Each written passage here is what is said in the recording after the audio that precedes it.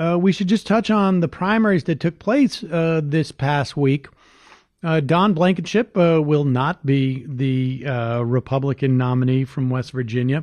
There were two big themes, though, uh, that came out of this week. I would say one is is that um, there are a lot of female Democratic candidates. I think 20 were up for uh, running in these primaries. I think about 17 won. This is off the back, off the top of my head. So forgive me if I'm off by one or two. Um, very uh, encouraging. Obviously, uh, not enough, but it's uh, it's encouraging. A and B also indicative of what we've seen in terms of increased activism by by women in the wake of the Donald Trump election. The other uh, thing that stuck out for me was the failure of Republican Congresspeople to win. Some instances, uh, they ran uh, for Senate uh, a nomination. In some instances, there was a uh, there was one in North Carolina who was an incumbent who lost, and in that same race, the Democrat uh, running unopposed had still an extra 10, 15,000 votes. So there's still a lot of indication out there that uh, the Republicans are in trouble. Uh, the Democrats have a huge advantage. Uh, they also have a huge advantage in terms of like wins per dollar, essentially.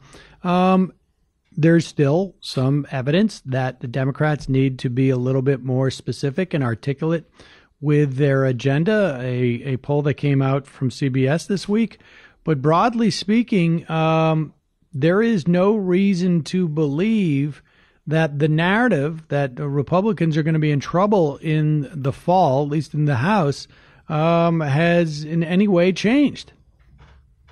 No, uh, so far so good. I mean, I think you know we've we've seen throughout, uh, you know, since 2016, the special elections have all uh, certainly trended toward Democrats, you know, mostly won by Democrats. And now we're seeing these primaries and starting to see how this is going to shape up how the Republicans are are handling their own party. I mean, I think what you say about the Democrats is true that there are a lot of women running and a lot of women winning, which I think is great news and, and indicative, as you say, of the uh, you know reaction I think against Trumpism. And I don't think anybody should underrate that as a as a phenomenon. It's huge and it is meaningful as far as um, you know activism and motivation and you know getting people involved in politics. I think it's been very very big. But the Republican side is interesting because I think people thought that maybe Trumpism would be um, you know, that would be would be manifested in somebody like Don Blankenship, you know, the way it was with Roy Moore down in down in Alabama, and that didn't happen. Um, and there were a couple of reasons for that. I mean, number one, of course, I mean, he was responsible for the death of 29 West yeah. Virginians. So, you know, a few people there actually thought that was kind of a big deal and maybe he shouldn't be rewarded.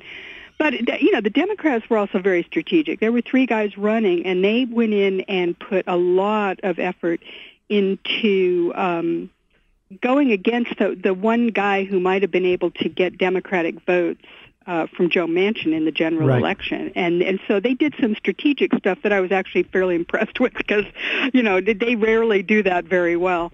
Um, but there's another thing Ron Brownstein brought up when he's looking around at all the races where the Republicans won, and it seems like the more mainstream won. But they, the more mainstream now is extremely anti-immigrant. It is, as Trump is, Trump has completely consumed the Republican Party with anti-immigrant fervor. And even the most mainstream of the candidates were running on that platform. And when you look towards the fall, I think that's going to be a meaningful thing because the, the, these policies that these people are promoting of mass deportations and, you know, building the wall and all of this, you know, the Muslim ban and everything, um, that's not, they're not popular. That isn't a popular that, that is it's only popular with this very hardcore Trump base, and everybody and would, else, you know, including a lot of Republicans, aren't for it. Let me push back a little bit on the idea that this is just a this is a Trump phenomena. Because well, you're right about that. Yeah.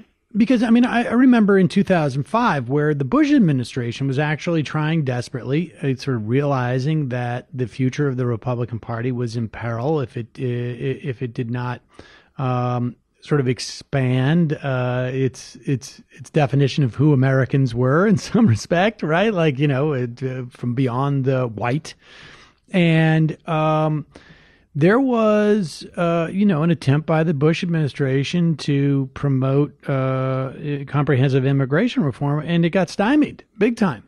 Yeah. And uh, I think you know to a certain extent that was an untold story uh, because you know, you don't necessarily see when you have a rather conservative uh, president. You don't necessarily see when the, the conservatives actually sink a a proposal. But I have a feeling like that that that weakened uh, George Bush more than I think was reported contemporaneously.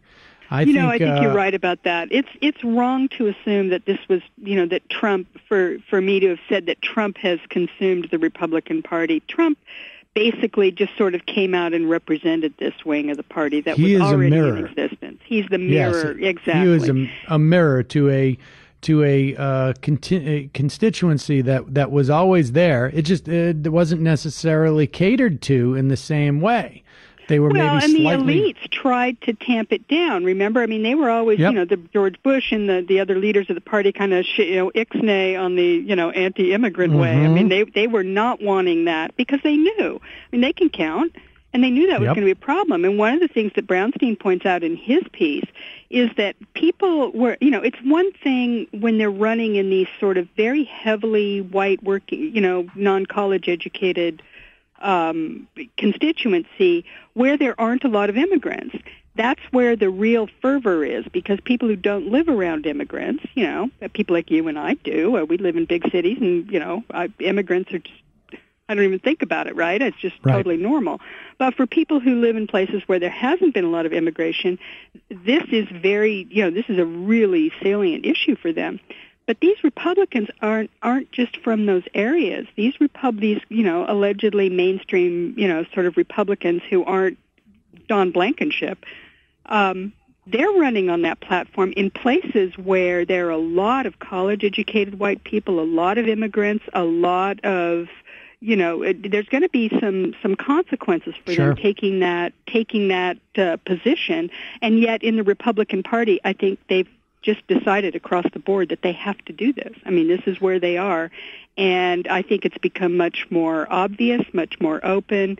And uh, that's going to be a battleground, I think, on which this upcoming election is going to yep. be fought in a way that I think maybe we hadn't, at least I hadn't thought of it before. I hadn't seen it as being one. I mean, obviously, you know. Well, they're going to listen. They're going to try. They're they're they're throwing everything against the the kitchen wall because uh, nothing uh, nothing seems to be sticking.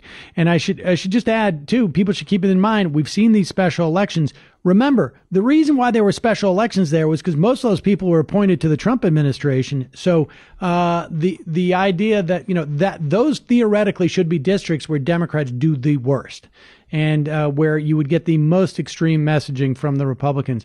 But look, Digby, we got to take a break. When we come back, let's talk about Michael Cohen and his uh, pay-to-play shop that seems to be, um, you know, built on the on the White House lawn. We'll be uh, right back. I'm Sam Seder. We're talking to the great Digby on Ring of Fire Radio.